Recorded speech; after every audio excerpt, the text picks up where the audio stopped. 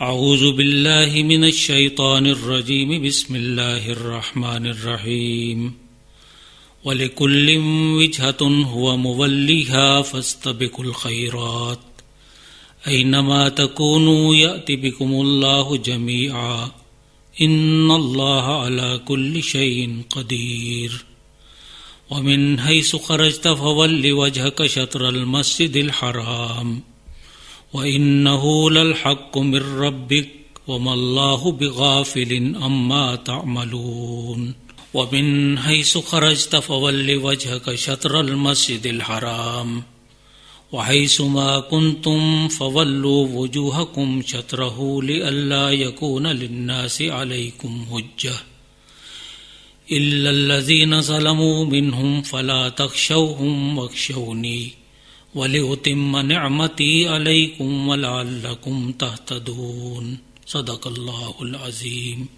हर एक के लिए एक रुख है जिसकी तरफ़ वो मुड़ता है सो तुम नेक कामों में सबकत करो तुम जहाँ कहीं भी होगे अल्लाह तुम्हें इकट्ठा कर लाएगा बिला शुबा अल्लाह हर चीज़ पर कादिर है आप सल्लल्लाहु अलैहि वसल्लम जहाँ से भी सफ़र वगैरह पर निकलें तो नमाज़ के वक्त अपना रुख काबे की तरफ़ फेर लिया करें, क्योंकि ये तुम्हारे रब का बिल्कुल बरहक फैसला है।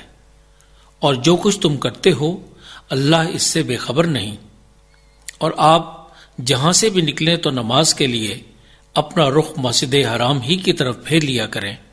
और जहाँ कहीं भी तुम हुआ करो तो अपना रुख इसी तरफ़ फेर लिया करो, ताकि लोगों के लिए तुम्हारे खिलाफ कोई हुज्जत न रहे, सवाए उनके जो उनमें से बेइंसाफ हैं, सो तुम उनसे न डरो, बल्कि सिर्फ़ मुझसे ही डरो, और इसलिए भी ताकि मैं तुम पर अपनी नेमत पूरी कर दूँ, और इसलिए भी कि तुम हिदायत पा सको। जेर मुताला आयात का मरकजी मौजू तहवील किबला और इस पर अमल दर आमद से मुतल हिदायत हैं। इब्तदा में मोतरजीन के एतराज़ के ये क्या हुआ? मुसलमान अच्छे भले बैतुल मकदस की तरफ़ मुँह करके नमाज़ अदा कर रहे थे, यका यक काबा की तरफ़ रुख बदल लिया। कभी इधर तो कभी उधर। ये बार बार तब्दीली तो कोई अच्छी बात नहीं। ऐसे ही दीगर एतराजात के पस मंजर में तहवील किबला की एक और मसलहत और जवाज पर रोशनी डाली गई।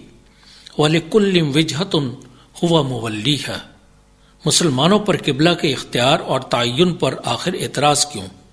हर मज़हब को मानने वाले का कोई ना कोई किबला ज़रूर है, जिसकी तरफ़ रुख करके वो अपनी इबादत की रस्में अदा करते हैं। अगर मोहम्मद सल्लल्लाहु अलैहि वसल्लम की उम्मत, जो आखिरी उम्मत और बेहतरीन उम्मत होने के साथ दुनिया की दीनी, सियासी, अखलाकी, मुआशी, मुआशरती पेशवा, रहनुमा और इमाम भी है, और उसकी ये इमामत और क़यादत और सयादत क़यामत तक के लिए मुसलमा है तो आखिर उसे ये हक क्यों हासिल नहीं कि वो अपना अलहदा तशखस कायम करे, अपने लिए अलहदा किबला मुतन करे? फिर यह कि यह किबला पैगंबर ने अज खुद मुतन नहीं किया, ये तो ललहक को मिर रबिक रब्बुल्ज़त की जानब से तय करदा और मुकर करता है।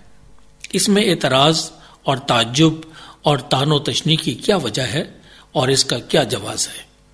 कुरान की रहनुमाई ये है कि ऐसे मसाइल और सवालात में उलझने की बजाय नेकी के कामों में शिरकत और एक दूसरे से बढ़ चढ़कर भलाइयाँ समेटने की फ़िक्र करनी चाहिए। सूरह अनफाल में इर्शाद हुआ इस तजीबू रसूल इज़ा लिमा युहीकुम। ए लोगो, अल्लाह और रसूल की पुकार पर फ़ौरन लब्बैक कहो, यानी उनके अहकाम को बजा लाओ, जबकि वो तुम्हें ऐसे कामों और अमलों की तरफ़ बुलाते हों, जिसमें तुम्हारे लिए अबदी ज़िंदगी का सामान हो। और जान लो कि इतात तस्लीम का लम्हा शायद फिर न मिल सके। मौका फराहम न हो या तोफीक सलब हो जाए। क्योंकि अल्लाह यहूल बैन अलमर व कल्बी। अल्लाह ताला आदमी और उसके दिल के दरमियान आड़ बन जाया करता है। एक और जगह इर्शाद हुआ सारे ओ इला मगफिरत मिर रबिकुम व जन्ना अल्लाह की मगफिरत और उसकी जन्नत की तरफ़ तेज़ी दिखाया करो। सुस्ती, काहली, बेयकीनी, अदम तवज्जोही को छोड़कर, मुख्तलिफ़ जहनी उलझनों का शिकार हुए बगैर नेकियाँ समेटने में जल्दी किया करो। मौाक़े तलाश किया करो। न जाने ज़िंदगी का पैमाना कब लबरेज हो जाए, या फिर अल्लाह की ताइद और रहमत मुँह मोड़ ले। नेकी का कोई मौका, लम्हा और तरीका छूटने न पाए। साहबा कराम इसी तरह नेकियों में एक दूसरे से आगे बढ़ते रहते। नेकी और भलाई के कामों में मुसाबिकत के ज़िक्र के फ़ौरन बाद आखिरत का ज़िक्र इसलिए हुआ कि यही असल मंजिल, हदफ और मतलूब मुराद है। ऐनमा तकूनु या अतिबिकुमुल्लाह जमिया। तुम जहाँ कहीं भी होगे, जैसे भी होगे, मुतियो फरमा बरदार या मुनकर गुनागार अल्लाह, बाहर सूरत, बाहर हाल, सब इंसानों को जजाओ सजा हिसाब किताब के लिए आखिरत के कटहरे में ज़रूर ला जमा करेगा। इससे किसी को मफर नहीं होगा। ये हकीकत जान और तस्लीम करके बंदगान खुदा को मुख्तलिफ़ बहसों, एतराज़ात, जवाबात या हार जीत के दावों में उलझने की बजाय अमल साले के ज़रिए आखिरत के दिन काम आने वाली नेकियों और भलाइयों और एतात वफा के रवैयों और साल अकीदा व अमल की फ़िक्र करनी चाहिए। इन अल्लाह कुल्ल शहीन कदीर। अल्लाह बंदों को कयामत के दिन जमा करने, उनका हिसाब किताब करने और जजा व सजा बल्कि हर चीज़ पर कादिर है, जिसका उसने दावा किया। किबला के हवाले से मजीद इर्शाद हुआ, वमिन हैस खरज तफवल वजह का शतर अलमसद हराम। किबला का इल्तजाम सफ़र व हजर दोनों हालतों में लाजमी है। किसी भी सूरत इससे इनहराफ या कोताही की इजाज़त नहीं। व इन हक मिर रबिक किबला का तयन और इसके इतबा का हुक्म किसी का खुद साख्ता फैसला नहीं, बल्कि बंदों के अपने परवरदिगार, मोहसिन मुनिम की तरफ़ से है। किसी शक शुबा से पाक, किसी एतराज़ से बाला और किसी तरमीम तब्दील से महफूज, नहायत दुरुस्त और बरहक। लिहाजा इसकी तामील व तनफीस के सिवा कोई चारा नहीं। वमल्लाह बेगाफिलिन अम्मा तामलून। अल्लाह के अहकाम की इतबा तनफीस से जो लोग किसी भी सूरत और किसी भी नौ का मुख्तलिफ़ तर्ज अमल इख्तियार करें, अल्लाह की नज़र में है, अल्लाह इनसे बेखबर नहीं, और इसका मतलब यह है कि वो इसकी जजा व सजा पर पूरी तरह कादिर ही नहीं, बल्कि इसे करके दिखाएगा। वमिन है खरज तफवल वजह का शतर मस्जिद हराम। मस्जिद हराम को किबला इख्तियार करने का हुक्म दोबारा इर्शाद हुआ। यह तकरार व ताकीद के लिए भी है और मुखालिफिन के एतराज़ात और व शुभात के मुकाबिल दिलों के इतमान और जहनों के सुकून के लिए भी। और इस अमर का ऐलान कि इस हुक्म की तामील और तनफीज में किसी नरमी या रवादारी और मुसालिहत की गुंजाइश है, न तब्दीली का इम्कान बाकी। बाद मुफसरीन की राय में पहली बार का हुक्म कयाम और दूसरी बार का हुक्म सफ़र की हालत में मस्जिदुल हराम ही को बतौर किबला इख्तियार करने के बारे में है। तीसरी बार फिर इर्शाद हुआ, वह सुमा कुन तुम फवल्लू वजूह हुकुम शतरा। सफ़र हजर की कोई भी हालत हो, दारुल अमन हो या दारुल हर्ब, आसमान, ज़मीन, समुंदर, फजा, कहीं भी सफ़र हो या कयाम, नमाज़ के लिए किबला मस्जिद हराम ही होगा। अहले ईमान के लिए कयामत तक।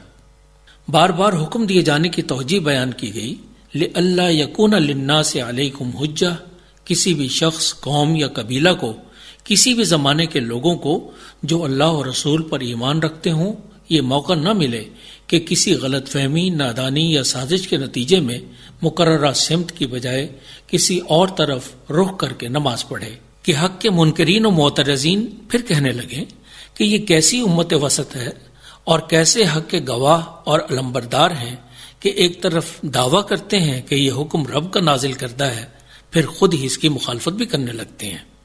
इल्लजीन जलम मिनहुम, एतराज़ात, शुको को शुभात और हजतें कायम करने का हर मुमकिन इजाला करने के बावजूद इस बात के इम्कान का इजहार किया गया कि जालिम यानी बे इंसाफ और हक के दुश्मन लोग तो बाहर तौर इस हुक्म को न सिर्फ़ कबूल नहीं करेंगे, बल्कि नित नए एतराज़ तराश लेंगे। वक्शौनी इनसे डरने और उलझने की बजाय अपने परवरदिगार मालिक व खालिक मुनम मोहसिन कारसाज व दस्तगीर, रहनुमा और मबूद, यानी मुझ अल्लाह से डरो, मेरी मासीत से खौफजदा रहो, मेरी सजा से बचने की फ़िक्र करो, मेरी बंदगी, इतात वफा के ही रास्तों पर गामजन रहो, वाले उतिम नमती और मेरे खौफ मेरे साथ ताल्लुक, मेरी बंदगी से इसलिए भी वाबस्ता रहो कि मैं अपनी उस नेमत उज़मा का सिलसिला मुकम्मल कर दूँ, जिसका आगाज़ तुम्हें बहसीत उम्मत मुस्लिमा, नौ इंसानी की रहनुमाई और इमामत का मनसब अता करके किया। और तहवील किबला का हुक्म, जो इस मनसब पर तुम्हारी सरफराजी का हतमी निशान साबित हुआ, इस नेमत की तकमील, राय हक पर इस्तेकामत मुसाबकत इलल खैर और मुसारत इलल जन्ना की सूरत में, जन्नत में दाखिले और रब की रजा की अता की सूरत भी मुमकिन है, वो तुम्हें हासिल हो। वल्लकुम तहतदून, इन वाज अहकाम तालीमत और हिदायत की रोशनी में तुम राह हक पर कायम और इस्लाम के सच्चे अलम्बरदार बनकर रहो। यही हिदायत है, यही रोशनी, यही नजात फलाह का रास्ता, जो अल्लाह के इन अहकाम पर यकीन और हरफ ब हरफ अमल का नतीजा है This program is the sole property of Central Productions, Pakistan Broadcasting Corporation, Islamabad. Piracy in this regard is illegal.